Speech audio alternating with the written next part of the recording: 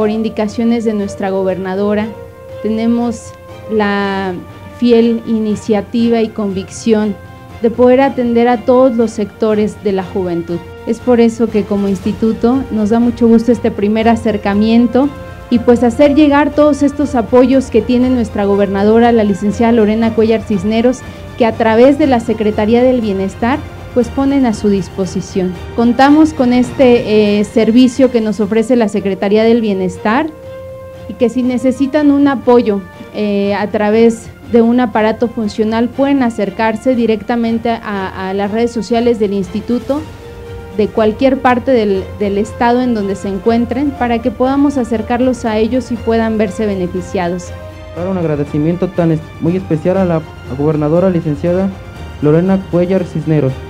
ya que a través de ella la Secretaría del Bienestar y el Instituto de Tlaxcala de la Juventud llegaron hasta nosotros para poder brindarles este apoyo y sin duda hay un gran gesto para los jóvenes que en estos estamos presentes en, en este día. Para los jóvenes con discapacidad, los, los invito a acercarse a nuestras instituciones porque la licenciada María Fernanda demuestra en cada acto el amor que tiene por ustedes y es evidente la prioridad que ustedes representan para ella.